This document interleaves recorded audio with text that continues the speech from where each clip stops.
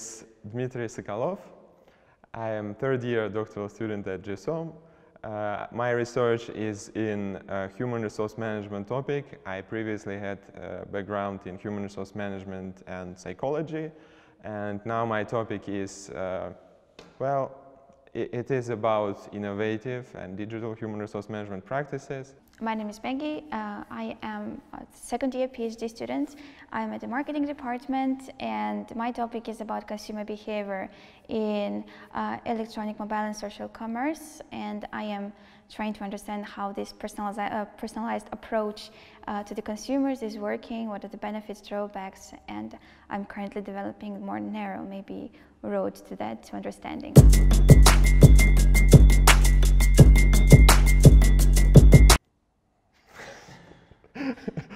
I, I, don't think there is a difference in, in time, in 2020 or in 2019. There are always people who strive to research and there are always need to research because we need to develop as a society. So in 2020 we need a doctoral program just as well as in 2019 and uh, Yes, that's true. And also, uh, it's like really rapid changes. There are always rapid changes around us in the world. And when you're at the PhD studies, you have a lot of access to plenty of people and information, and you can gain like numerous contacts uh, during the conferences while you are writing your thesis.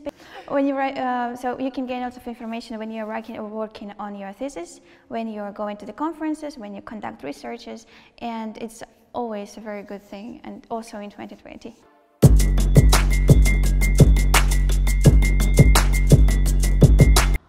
You really need to have a strong desire for that because it's a hard work at least for three years and you need uh, a very like good reason which will keep you going throughout all of this. Um, also you need a lot of time and a limited amount of distraction because you need to work on something which really takes a lot of effort. And your topic even if you like it you still need to work a lot. And there are few exams required, right? What is it? English yes. and uh, yes, and economics and management. Uh, so not only yes. desire, but but yes, I agree. My opinion is the, the most important thing is critical thinking and natural curiosity.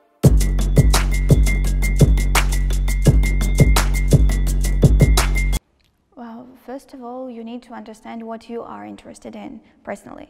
After that, you select uh, a supervisor from the GSOM uh, list of scientific supervisors, and then you talk to them, you understand what, what are the common ground be between you two, and once you understand what it is, then you can go on and work on like this agreed upon topic because when you work on this mutually beneficial topic, you can be um, also um, invited to the current programs and current projects and research of your scientific supervisor.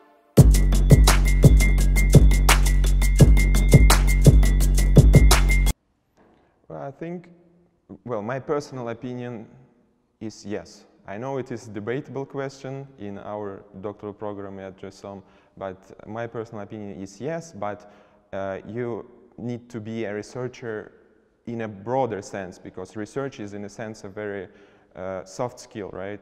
So doctoral program allows you to get this uh, skill uh, and then it's up to you how to, how to, what to do with it.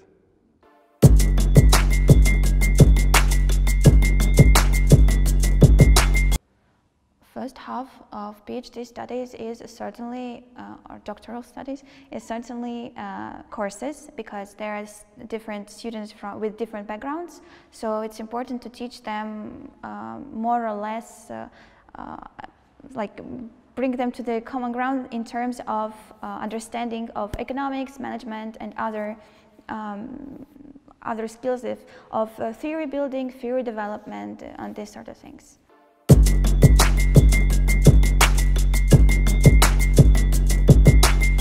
Course we work because it is what doctoral program is about.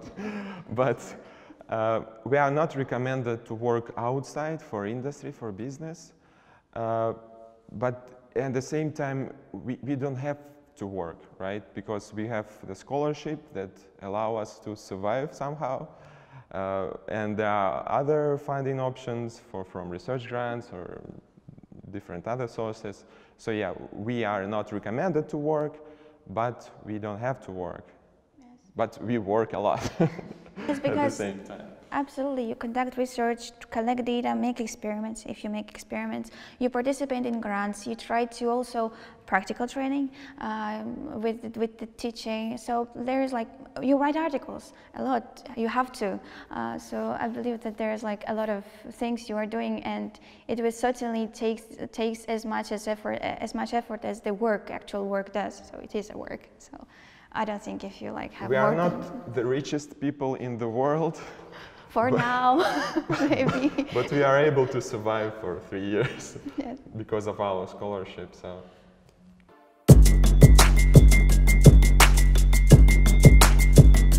Yes, uh, for me it was interesting because it's in English and I really wanted to, you know, go to like international arena of the academic research and there's like a lot of connections so you can always talk to uh, some to different partners.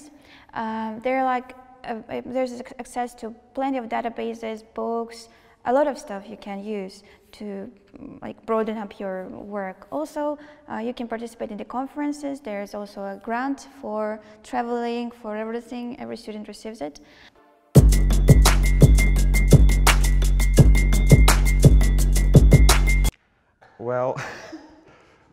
After the grad the graduate program, we become full-fledged researchers, so we are able to work in universities, in business schools as lecturers and researchers. Uh, we also can apply for postdoc positions. We don't have one in uh, GSOM, but uh, there are many other programs in uh, foreign universities, so th there is a good option. Uh, maybe the, the, short answer is you continue to develop your doctoral research because no research topic is ever developed enough, right?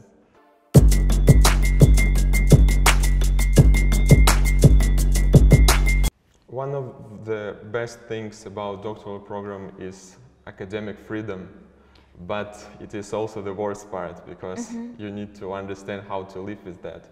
So it is, I think it's called academic entrepreneurship also. So yeah, you, are, you work for yourself. Yes, the, uh, in the first year you have a lot of classes and exams, but then you are like you are productive just as you are, are uh, able to uh, to do with your time.